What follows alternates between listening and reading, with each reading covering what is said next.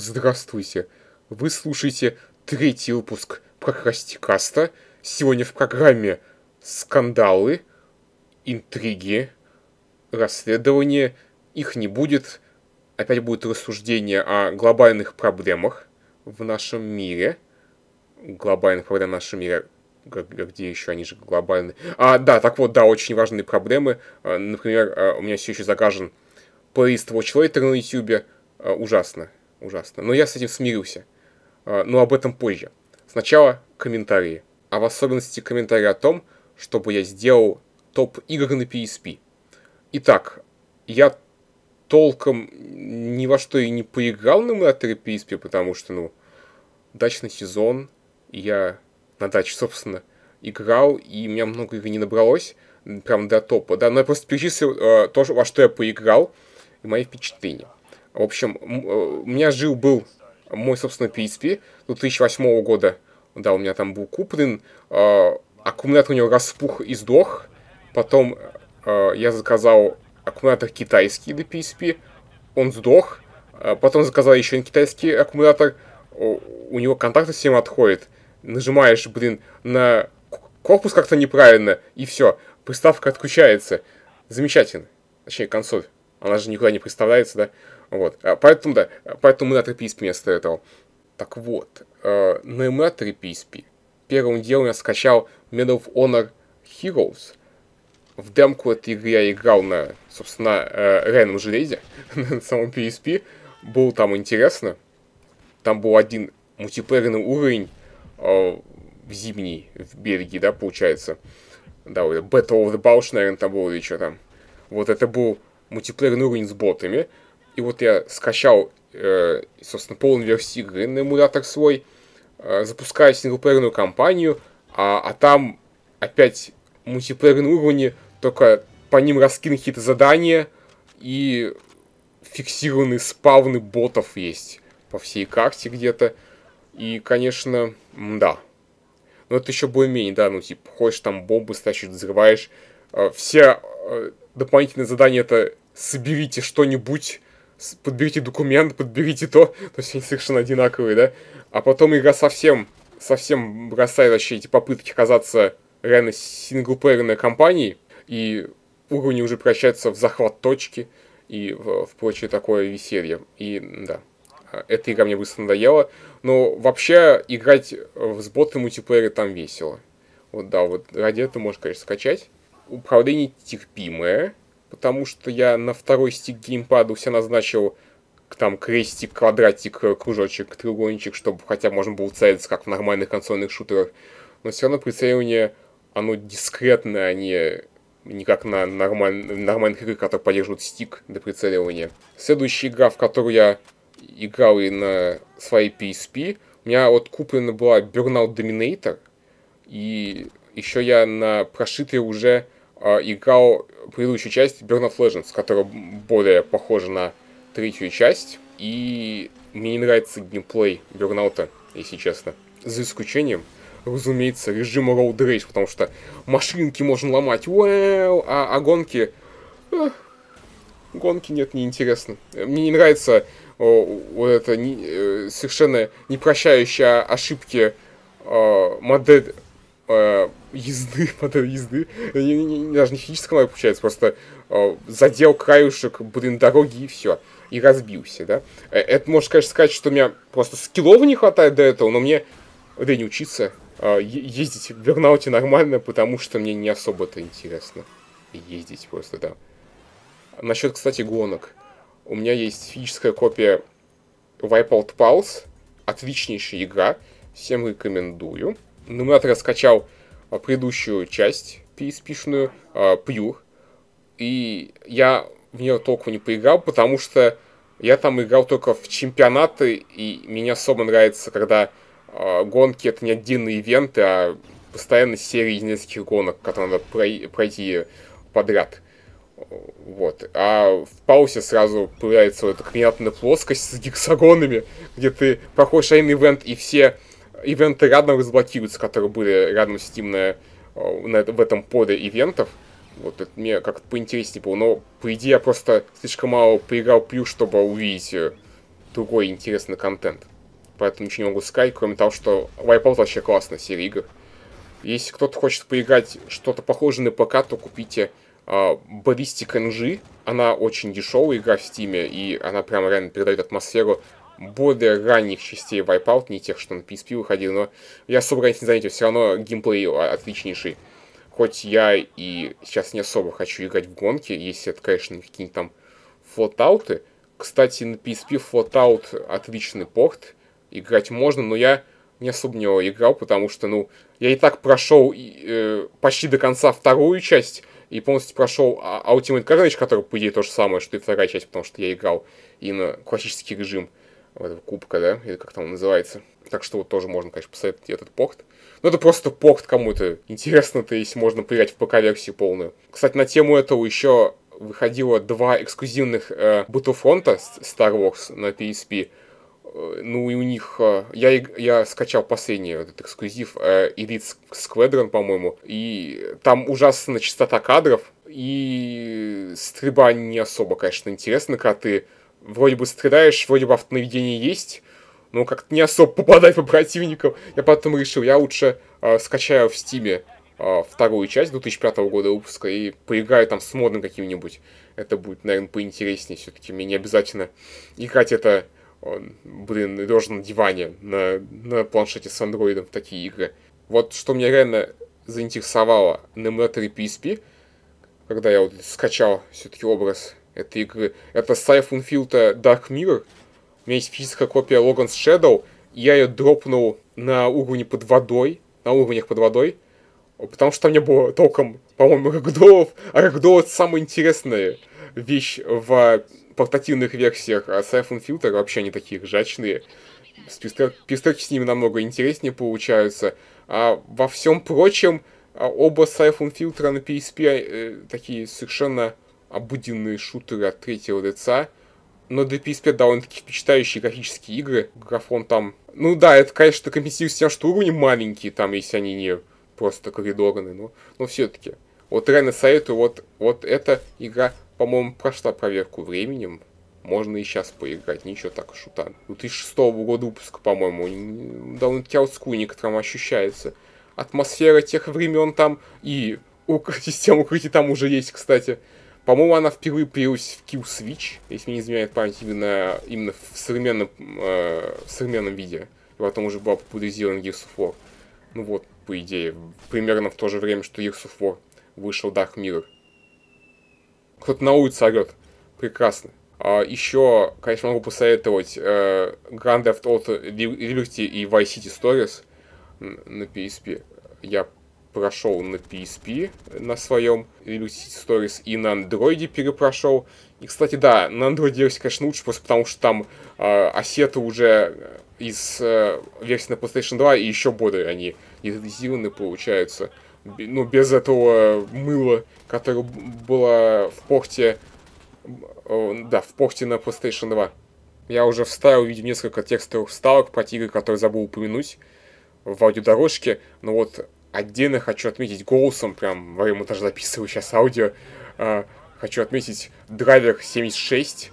Это, блин, офигенная игра, эксклюзивная для PSP. Я сумел его пройти уже на своем прошитом PSP, когда у меня этот китайский аккумулятор дерьмово стоял. Отличная игра. Даже в некотором роде лучше Grand Theft Auto той эпохи, потому что машины приятно вводить, миссии там тоже вполне разнообразные, меньше упора на стрельбу, и еще можно убивать водителей, таранить их машины, и это, конечно, жестоко. Но это мне не мешало выбирать грузовик во фрироуме, чтобы устраивать такие жуткие наезды. Кровь кишки. А нет, нет, в этой игре нет кровь, крови, крови кишков, но игра хорошая, советую. И Honorable Mention это версия на PSP мобильной игры э, Asphalt 2, от геймлофта, потому что там графика PlayStation, первого PlayStation э, замечательно. Никого не рекомендую, просто было забавно это посмотреть. Вот и все с играми на PSP. А, по-моему, отдельно видео это недостойно в этот топ, потому что мне лень записывать, собственно, геймплей, поэтому я просто там, может, поставляю то, что я на YouTube найду. Вот, а теперь э, возвращаемся э, к темам подкаста, которые я еще даже и не раскрыл, да? Хотя, да, в описании, в описании к видео там все есть. Окей. Меня забанили в Стиме. Э, ну, забанили загрузку скриншотов а, на неделю. Прекрасно. И все из-за старых скриншотов в Jackbox Party Pack 2. Э, я не совсем понимаю, из-за чего именно, потому что там может быть много причин. Э, жалких, конечно, причин, но ладно. Это все-таки их community hub. Они там кого э, хотят могут банить, хотя они мне в support'е написали, что они не знают, что это мне заблокирует возможность вообще выкладывать повсюду скриншоты, не только в их community hub'е. Вот. И, конечно, скриншот с именем Семен, который, наверное, модератор почему-то как Симон, это, это прям самая смешная причина для бана на свете. Но это был не единственный скриншот, их было там 8. И от меня целую неделю забанило. Просто великолепно. Не хочу в этот раз снова делать так, что мне придется монтировать, блин, целых 40 минут материала. Поэтому еще одна тема и закругляюсь. У меня, кстати, тут список есть довольно-таки большой уже, чтобы еще такое обсудить. Например, в следующий раз, я думаю, можно будет погрузиться в прошлое и вспомнить э, все мои достижения э, на YouTube, которые сейчас кажутся полнейшим кринжем. Ну, это хорошо. но, в следующий раз. Но, но, раз я про это вспомнил, у меня прям было недавно очень, очень шикарнейшее прям счастливейшее событие. Я нашел, я нашел обращение Озона 677 ко мне, видеозапись. Наконец-то, ура! Э, э, но я ее использую в другом видео. Вы еще, еще увидите это обращение замечательное. Айдар 95, ты чурка. Вот, вот маленький отрывочек. Вот. То есть, чтобы контекст был. Итак, вот, следующая тема. Начну издалека. Начну издалека. О, знаете, из таких далей. Вы прям не представляете. Я недавно, это давно, по-моему, уже полтора месяца назад, да, полтора месяца назад перестал слушать радио «Эхо Москвы». И это прямо одно из лучших решений моей жизни, ну, в пределах этого года, наверное. Потому что это прямо дум скроллинг, так называемый, а не развлечение. Я просто люблю слушать радио фоном, когда работаю, да, потому что музыка, ну, ее надо выбирать, она может там отвлечь, может быть, слишком сильно, если она вообще прям офигенная, да, а, а фоновый шум в виде радио, ну, прекрасно. Вот только у Эхо Москвы есть пара недостатков по сравнению с той радиостанцией, которую слушаю сейчас. Реклама, во-первых, шумная. Э, нет, спасибо. А, особенно, когда это реклама ионизаторов воды, длиннющая. Она просто прекрасна, конечно, очень научная. Ух ты! А, и еще утренний эфир по будням это сплошная политота.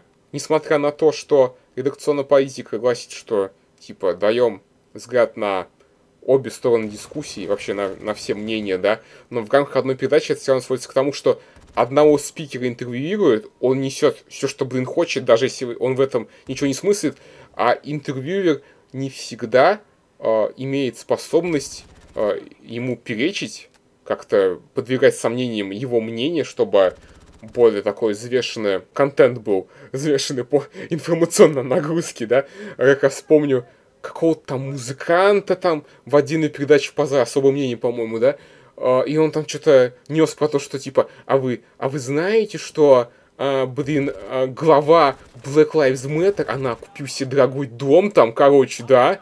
Я такой, глава Black Lives Matter? Окей, это типа как президент ан Антифы? Кто это? Откуда там может быть глава у децентрализованного движения?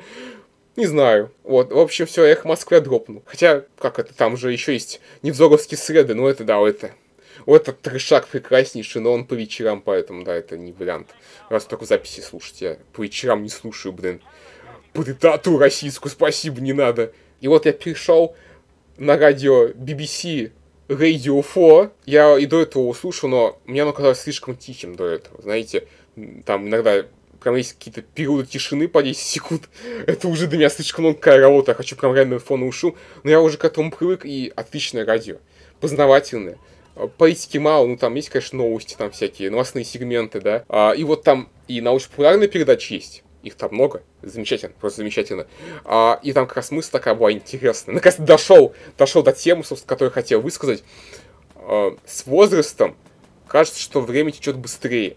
Но по-настоящему это из-за того, что у нас меньше воспоминаний остается от э, зрелой жизни. Потому что мы большую часть вещей жизни уже знаем, и как-то все, мимо нас это все проходит, и новых впечатлений становится меньше. И я такой думаю, давайте опять сведу к YouTube, как же без этого.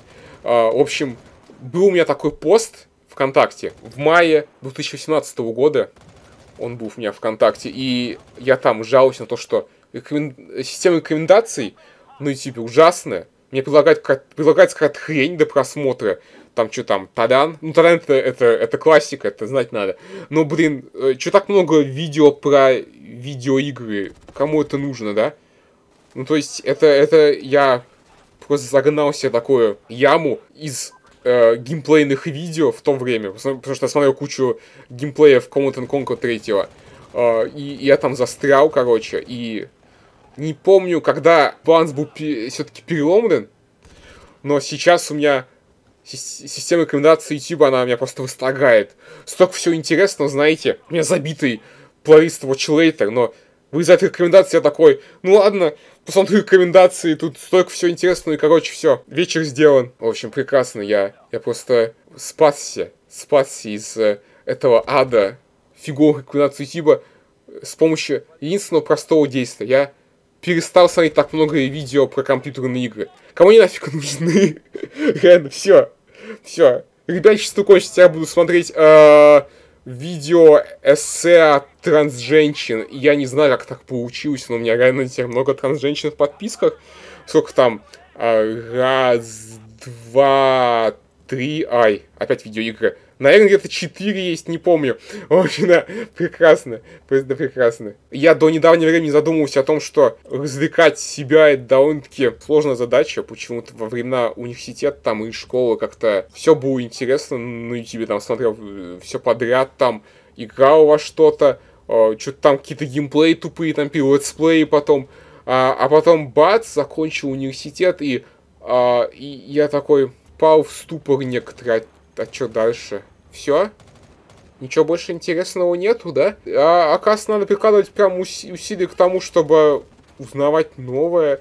Даже если это, блин, просто просмотр видео новых жанров на YouTube, а не только, блин, летсплеи. Жалко, что я, конечно, раньше до этого не догадался, потому что я помню, что года три назад, вот как раз в 2018 году мне было очень фигово, просто потому что, ну, что-то все стало таким пресным, и мне ничего не особо, э, ничего особо не хотелось делать. Это прям была бездна ОКР а, и тревожности. Ужас. На этом, пожалуй, закончу, потому что все-таки хочу опускать эти подкасты регулярно, ибо в прошлый раз я наговорил так много, что прям все, я, я все выговорил, все, что хотел, и поэтому подкаст долго не было, ну, еще дачный сезон. Дачный сезон. У меня сегодня не, недачный день, недачный день, поэтому я и записал этот подкаст. Вот, ждите еще там одного нового видео и вообще новых видео. В общем, все. Удачи, до свидания. Там пейте чай, как обычно. Все, пока.